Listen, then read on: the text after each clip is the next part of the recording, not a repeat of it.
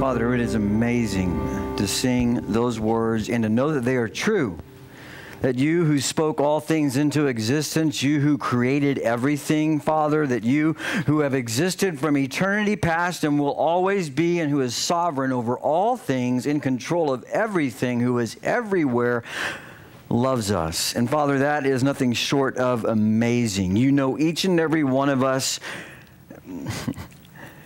perfectly all 7 point whatever billion people on the face of this planet, Father. There's not one random molecule in the entire cosmos that you are not over and you are holding all things together, and yet you, who are that awesome, love us. God, such a truth, such a reality should give us great, great comfort great confidence, not in ourselves, but in you, should give us that strength that we need, Father, to go through each day knowing that you are with us, that you are for us, that nothing can separate us from your love. That while we may or may not be loved by other people, Father, that you love us. And God, that is incredible. We praise you and we thank you. And Father, I thank you for your word, and I ask and pray that you would speak to us so that we as a church today might continue to grow in our understanding of, of who you've called us to be, what you've called us to do, and what will be required for us to stand in the years to come. And I pray this in the name of Jesus. Amen. It's good to see you today. Uh, quick thing, and we're going to hopefully try to set the table. We're going to be looking at today, we're continuing our series on those things that are very important for the church, for church health, for moving forward, that vision for the church. And today we're going to be taking a look at how things should function in the life of a church. Question following instructions, important or not important? Some of you are still thinking about it. Kind of important. Okay, as a young kid, one of my earliest memories of the whole idea, I used to uh, have, uh, well, I'm talking elementary school, like one of my early elementary school age memories. It was a, a big deal. I wanted to be the first one to turn my paper in, you know? Okay, so I'm blasting through as a math class. I am blasting through it because there's some other kids in the class that there's like a little group of this little tribe. You're kind of competing with each other, you know? You're not saying it, but yeah, I'll be the first one to go in there and turn the paper upside down. That's the way you used to do it back in the day. And so I am crushing it. Slap that bad boy down, and I sit down. I was pretty proud of myself. Problem, okay? The whole thing, the entire little math quiz, it was a quiz, fortunately maybe 20 questions or whatever. I can still see the little worksheet. It had addition and subtraction. I didn't notice. I added everything. First one to turn in. Let's just say I had some different answers than other people did on a good portion of them. And I was pretty proud of it. It's like, oh. And the teacher actually laughed. I can still see her doing that. And she was like, I can tell you didn't look at the instructions. And I was like, yeah, yeah. I was really embarrassed. And so she, she actually gave me a few more points more, which, you know, which was pretty nice because, but she said, next time, well, next time I was like really, that kind of scarred me. I was really slow. Following instructions. Any of you guys ever put together, because ladies were very good about not doing this. Any guys ever look at something you're putting together and think, you see the instructions, you'll look it over and go, got it, don't need it, exactly, right? I've got something in my garage that's missing a few pieces, but it's together. I don't know what those pieces are for. It doesn't work properly, but I didn't read the instructions. I read them, I glanced at them and thought, that's easy.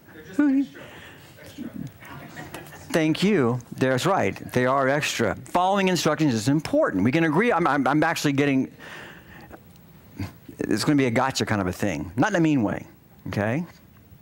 Because one of the things we're going to look at today is actually one of the sources of, of so many church members all over America, sources of frustration. I want the church to be done. well, We've not been following instructions for a long, long, long, long, long, long time when it comes to how the church is to function. We've kind of not done that. I had a very humbling thing And just so you'll know, and this actually fits, your, your body ideally should be one integrated unit when you're exercising and when you move around. And I've had a very humbling experience, but it's been a pretty cool thing too. I'm pretty excited about it. I'm sore all the time, which is like, I love that. For years and years and years and years and years, all the fun lifting weights, so on and so forth, which I've always enjoyed. Um, about six years ago, they told me to stop doing certain things. They said, Well, you're back because I only have one disc. The last time I have one disc that's not either herniated or, or bulged and or whatever, like it's just like it's just jacked up. My back is jacked up, right? So about six years ago, they said no more squats, no more deadlifts, no more this, that, and the other. And so basically, all you can do, if you're gonna do anything in your legs, you can do some leg extensions and you can do some leg curls and calf raises, but that's it. Now, what was interesting was was that in doing that, what I did not know is that I finally went to a different, uh, this is what other spinal doctors told me. Stop doing all those things. My back kept getting, why have my back hurt worse and worse and worse? And it's like, well, guess you're getting old. It's like, no, I'm still exercising, I'm still going to the gym, but I'm working around all these other things, but I'm not doing certain things. And so I go back to the, the doc who's the Spurs doc, and he said, I'm going to send you to PT, and I got someone who's going to get you squared away. And so they went in, and she said the first thing was was like, okay, for six years you've not been doing. You know, we actually you should be doing those things, the squats and everything else. She goes, so the whole posterior chain, we're going to work on that. And we're going to work on it and work on it because they analyze my walk, how I stand. I mean, it was a whole, and it's like, oh, you just compensate when you're hurting, right? And so what she said was, we're going to build up those areas. You actually should have been working on those areas. But the problem is, is that almost everybody who does these exercises does them wrong. She said, and that's including the professional, even the professional athletes that come in here, we have to retrain them. How do you do it right? Most people do squats and deadlifts absolutely with the wrong form. And I was raised in the very beginning of the ages of weightlifting when you just, you kind of had a close to a form, but the main point was just to yank as much pounds as you could, okay? So years of that, of not doing things correctly, made, uh, caused a physical toll, okay? caused a big physical toll. And so here's what they had me do. She said, We're going to, they've been, I have all these at home things. So I go to PT twice a week, and then I have all these things I do at home. And so I am continually walking around like, ah, ah, and it feels great. But she said, Okay, I got to finally, I have to earn the right to get back to the bar. You got to earn the right. Form has got to be perfect. I was like, okay, all right. So they had me stand. It was the most humiliating thing. Because mind you, I've been lifting weights since the late 1800s. I mean, for forever. I think I know how things should be done. I know how you do squats. I know how you do deadlifts. So she says, I want you to I want to stand, I want you to look at her without any weight or whatever you're going to do in basic form.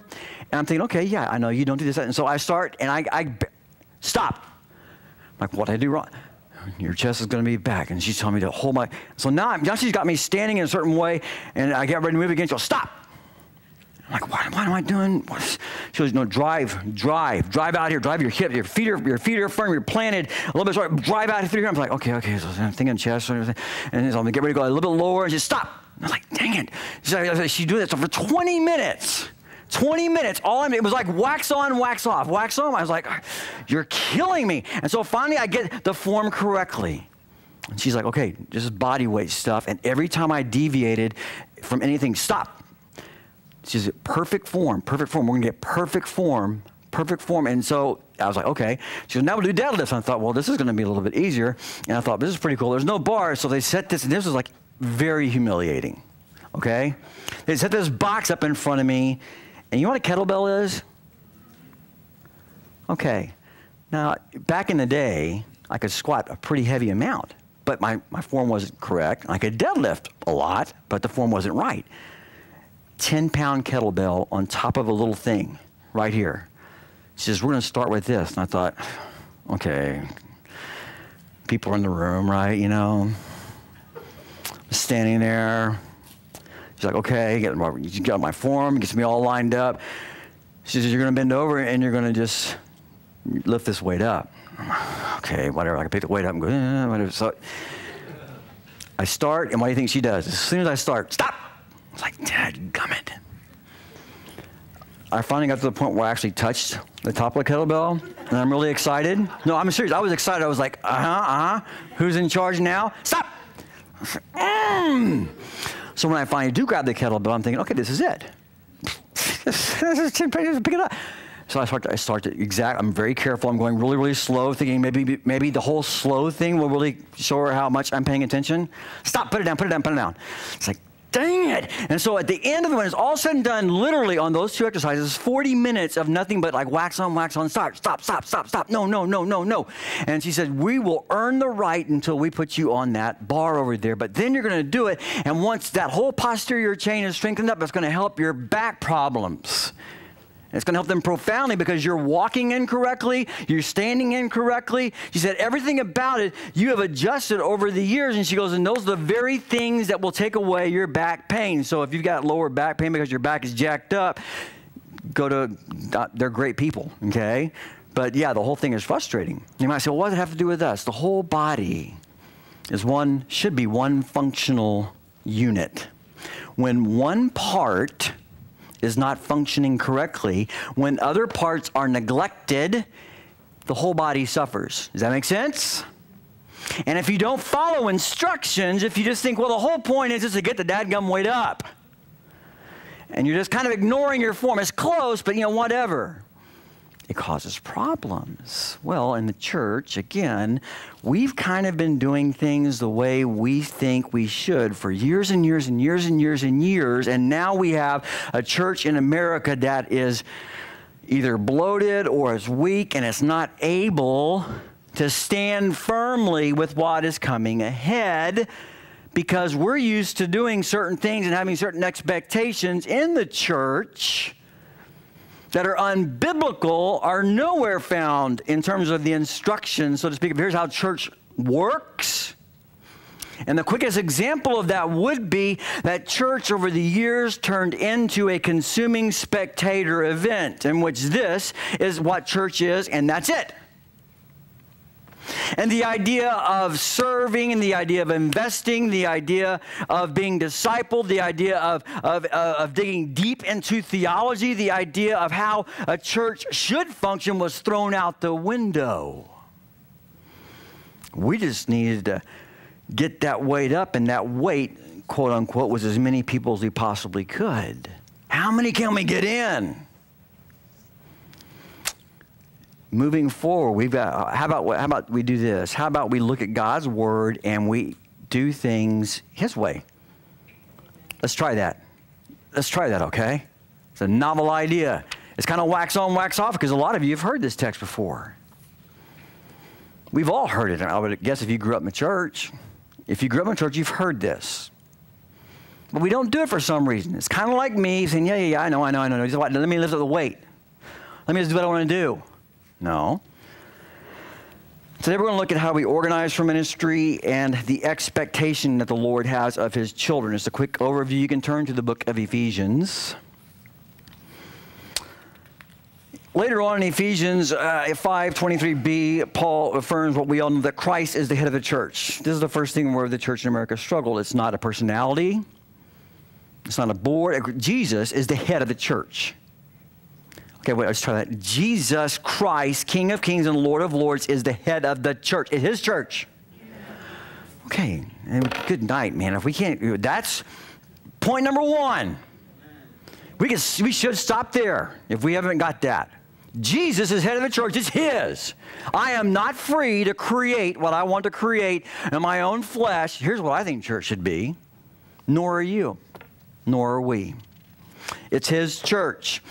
It's his bride. We are his bride. Everything is his. So Paul is writing to the church in Ephesus, and he has been explaining how Jesus is sovereignly gives gifts to his church. Each one of you who has been born again, all of you who are born again in Christ have been given spiritual gifts, and you are given those gifts for a reason.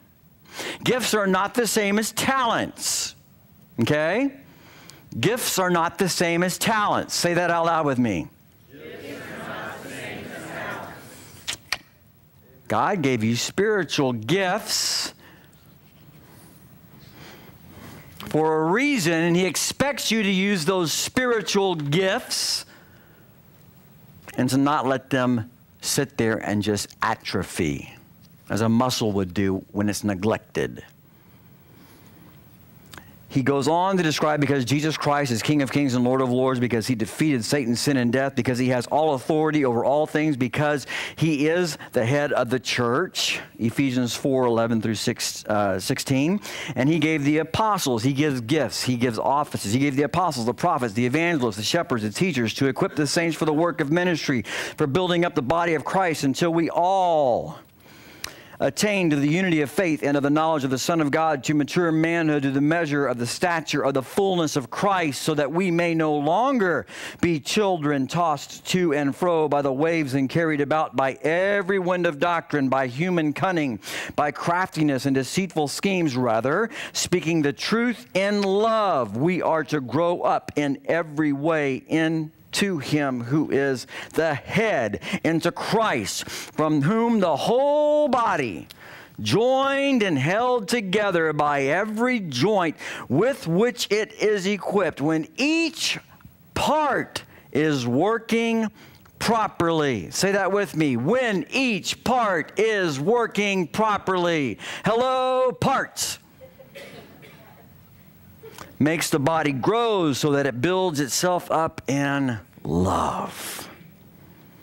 Jesus gives spiritual gifts as he pleases for the growth, for the building up of his church.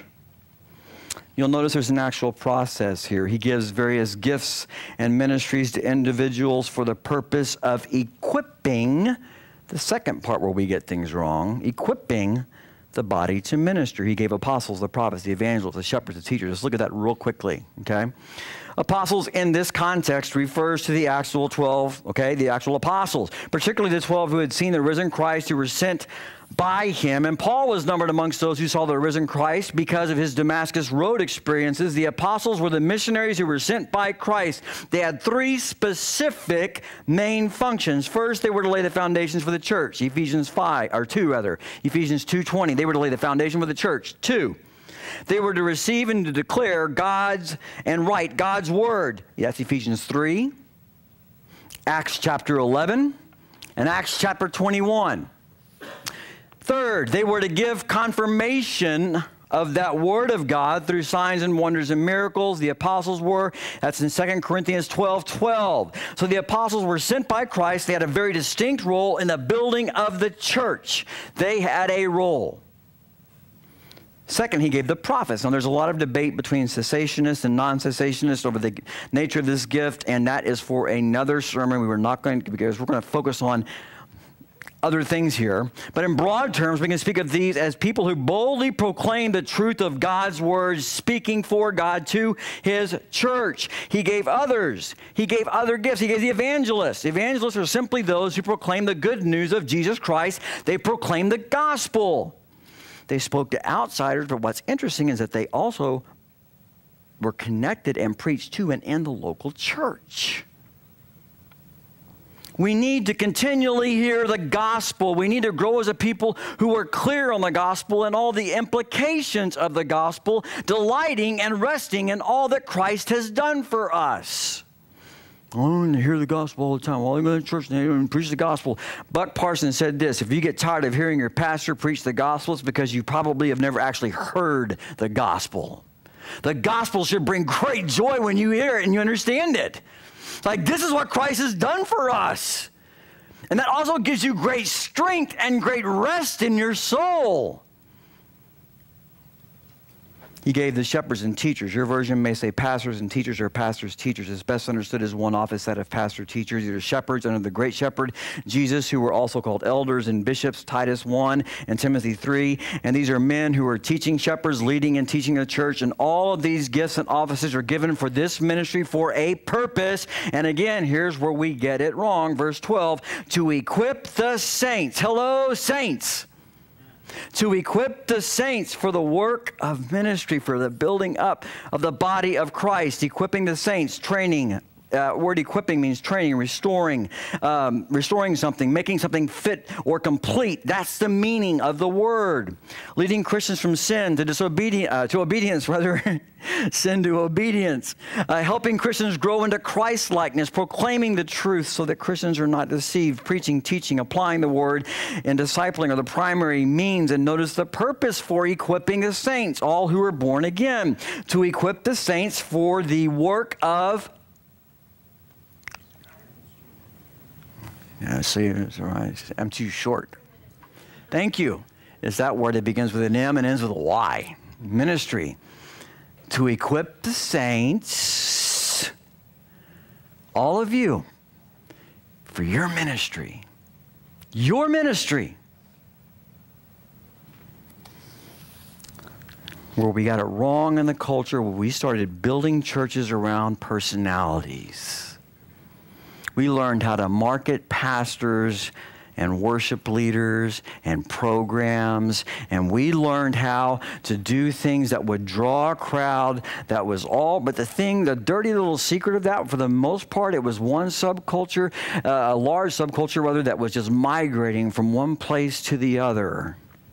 San Antonio, a very brief oral history.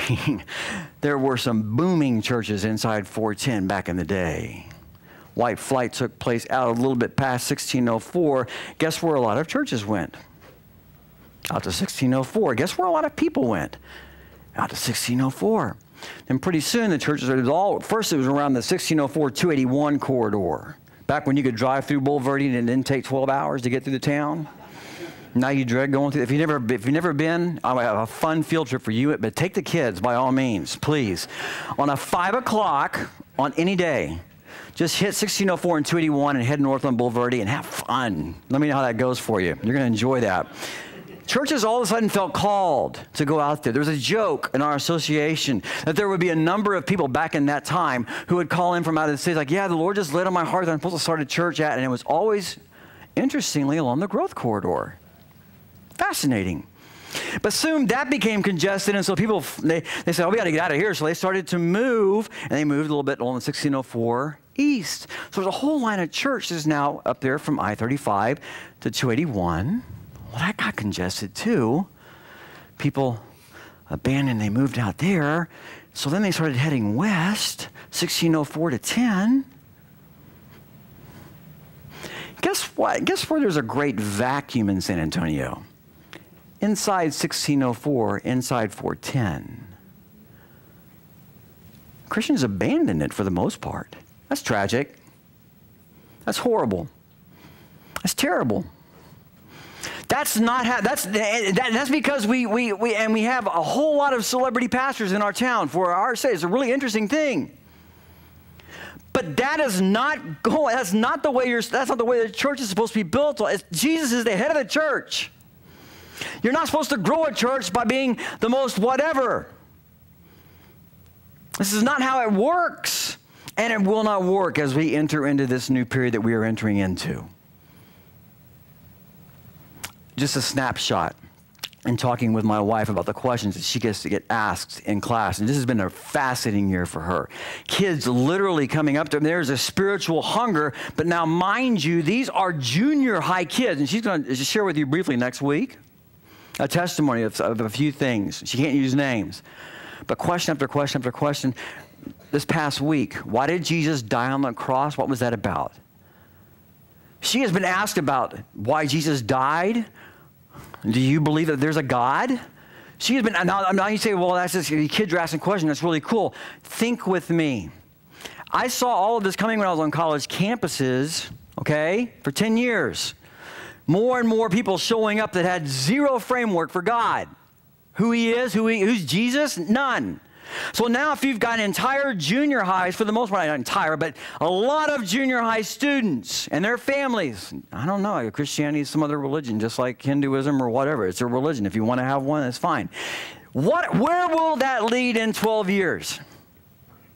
You're talking about an entire culture in which the church will be a museum filled with people ages 55 and up.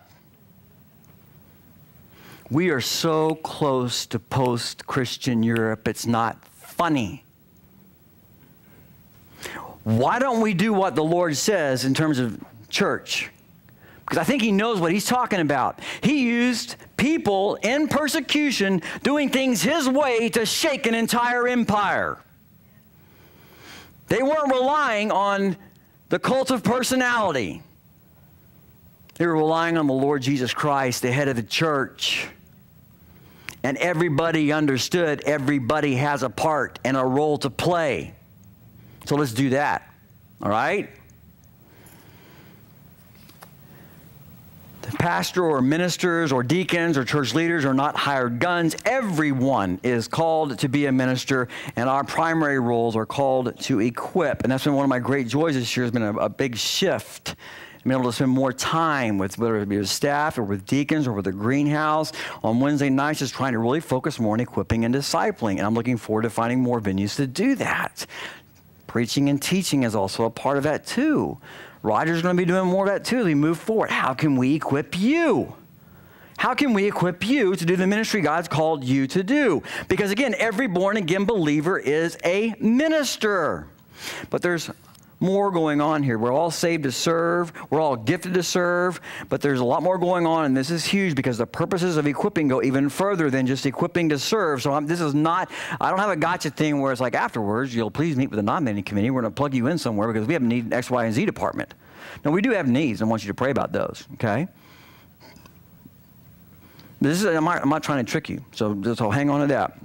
We're all saved to serve, but we are also, we see here, that we are to equip so that you can stand firm and run well. Notice what Paul says that the equipping is for building up the body of Christ. This is building up both, it refers to numeric as well as uh, maturity, numeric growth as well as a maturation. That is an important part of the equipping so that you can be mature, so that we might also reach more people, so that, again, it grows the way the Lord designed it. These are His instructions, is not mine, okay?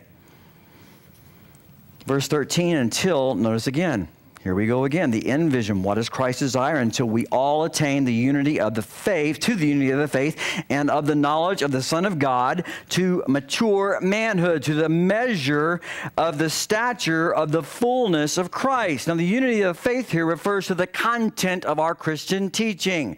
What we believe and the truth matters. What we believe matters. The content of the gospel. Faith specifically here refers to the content, content of our faith, and yes, that means doctrine. For too long in American culture, people would say, oh, don't talk about doctrine, no doctrine but Jesus. And that's nonsensical when you think about it, because today, if you ask 100 people, well, who's Jesus? You're going to get about 75 answers. No doctrine but Jesus sounds nice and warm and fuzzy, but for some people, Jesus is just some enlightened teacher. For some, he was a good moral teacher. For some, he was a, a spiritual being. For some, he was whatever, okay? No, theology and doctrine matter. And it's time we, the church, embrace that. Doctrine divides. No, doctrine unites. Timothy Keller said this Ironically, the insistence that doctrines do not matter is really a doctrine itself. So the idea of saying doctrine doesn't matter, that's a doctrine. Doctrine matters. What we believe matters. We need to know what the Word of God teaches. The knowledge of the Son of God refers here, it comes to the knowledge that comes through walking with Christ in relationship with Him. And the context implies this knowledge comes from hearing the Word, also preaching the Word, hearing the Word preached and taught, reading the Word, praying, meditating on the Word, studying the Word with other believers. In short, it means spending time with God, walking with God. This is not passive religion, this is an active pursuit of knowing Christ another area where we in the church in America for far too long have gotten it wrong. We have made Christianity just about a passive thing that we receive or that we kind of talk about, or that Jesus is an add on, or he's a part of my life, or he's even a big part of my life. No, he is your life if you're his child. Okay? Let's, let's get back to that too. And he, he calls us to the maturity here in this passage refers to uh, believers becoming more and more like Jesus. Jesus is a standard of spiritual maturity, not someone else. That's another area where we get it wrong. We look at so and so or so and so and go, wow, they're really mature. I want to be like them. No, you want to be like Jesus. Let's make him our standard. Okay?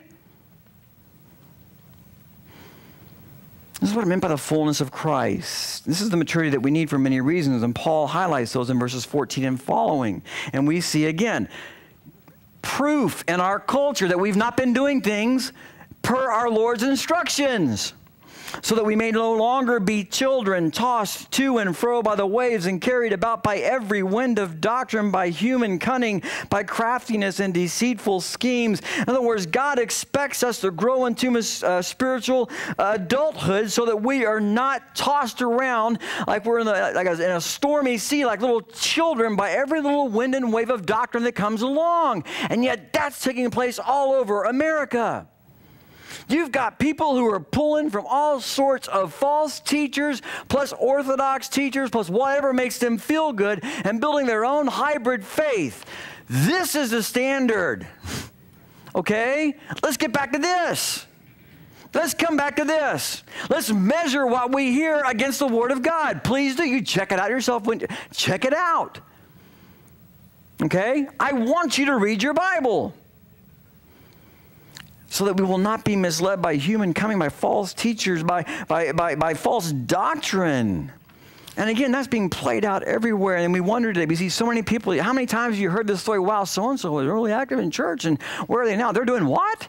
My goodness, how they drift over there, how they get involved in that cult, how they get involved in that weird thing. Because we've neglected discipleship, we've neglected equipping, we've neglected theology, we've neglected doctrine, we've turned Christianity into a spectator sport. We can start there.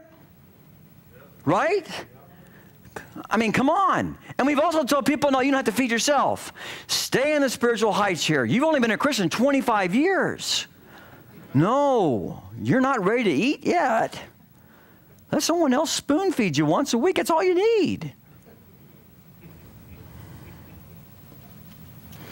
People can't distinguish between truth and error or between right and almost right because we don't spend time in the Word, and that's because we've not been doing things the way the Lord has instructed. You'll note that Christ expects us to grow up, to be mature, to serve, to know Him, to know the truth, to distinguish truth from error. And so many of our churches are anemic because we are filled with, with, with, with, with as a body, with, with professing believers that, that we're not mature.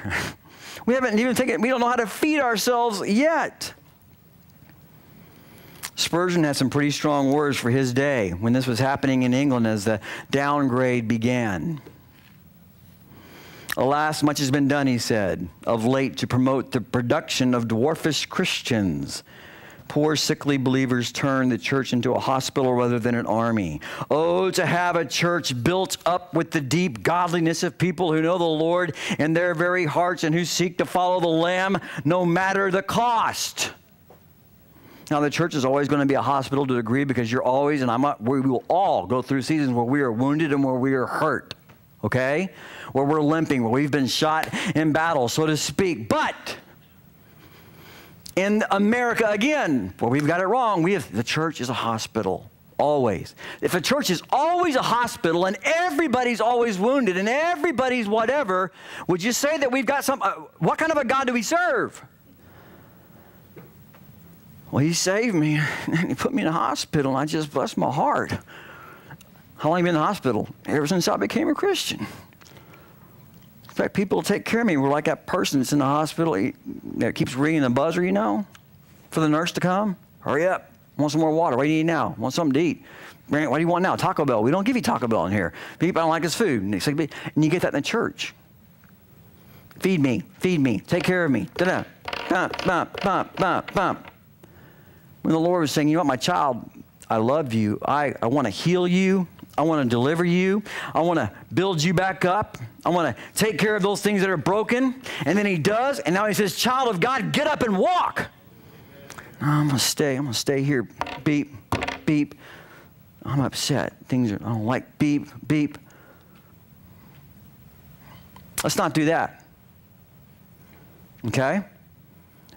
we're expected to grow into maturity, right? That's what Christ expects. Again, are you going to get wounded? Yes. Are you going to get hurt? Yes. I'm not denying that. I know that. But if that is the entirety of almost your Christian testimony, we've got, we've got to grow. Okay? We got to grow. Some folks are still hanging on to hurts from 20 whatever years ago or grudges from 20 odd years ago. You might say, no one is. No, I actually was in a church once I learned that from people. Still mad at a pastor from 20 some odd years. It was multiple pastors since then. Yeah, what the pastor did was really, really wrong. And talk about that man. It's like, man, sooner or later you're going to need to let go. Trust God, move forward, be mature. Okay? That happened, it wasn't good, but Jesus Christ is greater. We see more of his desire for the church, verse 15 and following. Whether he's speaking the truth in love, we are to grow up in every way into him who is the head, into Christ, from whom the whole body, joined and held together by every joint with which it is equipped when each part is working properly, makes the body grow so that it builds itself up in love. As opposed to spiritual infants who are continually consuming and who are easily deceived we are to grow into a people who are mature, speaking the truth in love, so all become more and more like Jesus. This is an all of us responsibility. The, all of us who are knit together by the Lord, all of us are interconnected. All of us is one strong body functioning well together with Jesus as the head, and each part doing his and her share. Each part. That's Christ's plan. That's his desire. That's his instruction for the church. Each of us. What's happening at the end of verse 16 is to build up the body together. All of us serving, all of us edifying, not tearing down. Building up again, not tearing down. It's another thing in American culture we might want to. Hey, let's build each other up. How about that? In Christ. Want to build each other up in love? Let's do that. How serious does Christ take this whole building up? How serious is the Lord about his church? How serious does the Lord say, yeah, build up, don't tear down? How serious is that? Well, he's, he's very serious about it. I'll give you a couple of things that are kind of scary text we don't talk about much. Titus 3:10. Paul said this, as for a person who stirs up division, because again, we're talking about whose church? Christ, Christ church. And we're called to do what to the church? Build it up, right? And we are all knit together, right? So anybody who is dividing and tearing down, listen to what Paul tells Titus. As for a person who stirs up division, in other tearing down, after warning him once, then twice, have nothing more to do with them. We have tolerated for far too long in the American church people who act up, throwing spiritual tip, uh, temper tantrums, tearing the body up. Because we don't want to lose people. We're afraid. Well, I don't want them to get upset. Well, you know what? That's also backwards. They're pitching a spiritual hissy fit and dividing the church. There needs to be a warning. This is the Lord's church. Uh uh. you are not going to be dividing it that way. Okay? But you do it in love. You might say, well, just one text. Don't, I don't know. I'll tell you a scarier text 1 Corinthians 3. 1 Corinthians 3. Now, I believe it's 1 Corinthians 6. Paul refers to, uh, to us, our temple, our body, our physical body as a temple of the Lord, but here he's referring to the people of God.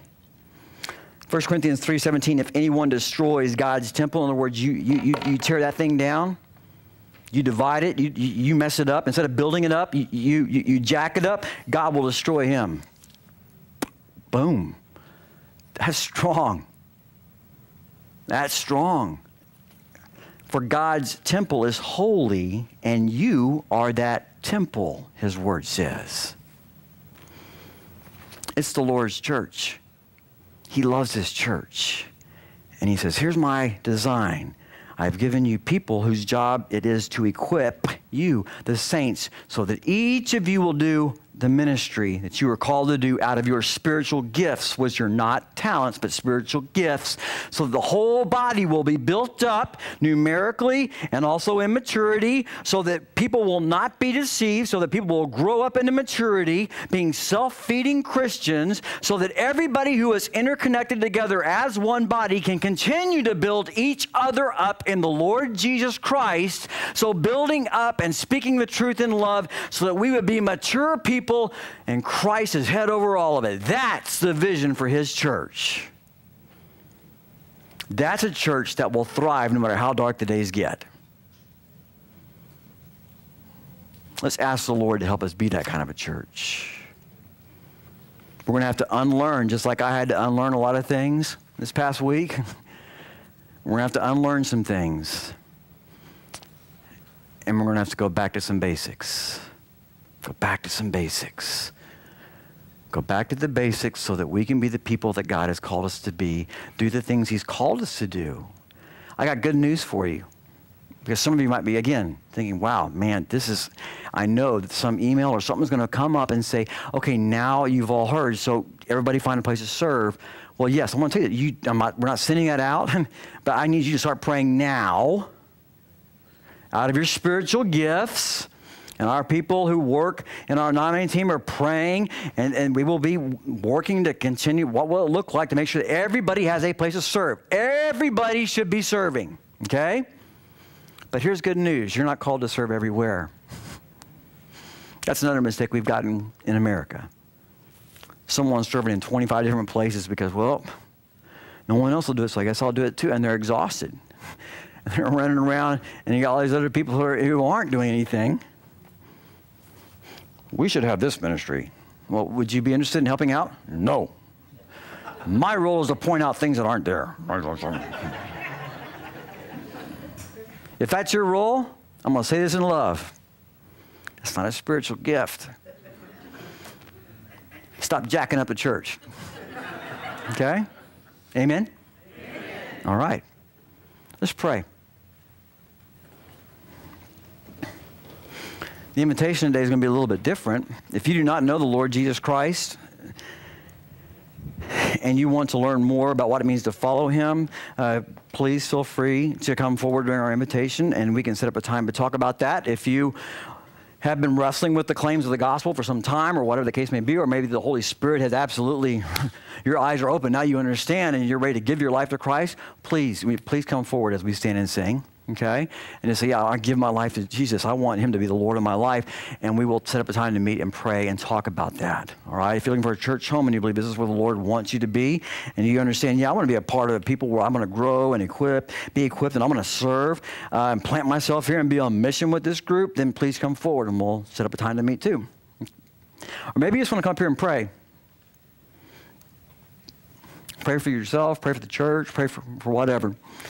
However, you feel led, just please continue to worship in our invitation. Father, I thank you for your word, and I thank you, Father, that you have given us clear words, clear instructions in terms of how we are to, to do things and what we're called to do and who we're called to be and what the end vision is and what it's all supposed to look like and what we're supposed to be praying and striving towards. And Father, I pray that you would help us to be able to peel off those things culturally, perhaps, that have been building up for years and years and years in the church and our culture where we might see things solely through the lenses of Scripture. And Father, that we together in love would work together to become this kind of church, Father. Lord, I ask and pray that you would use this church for your glory. I pray these things in Jesus' name.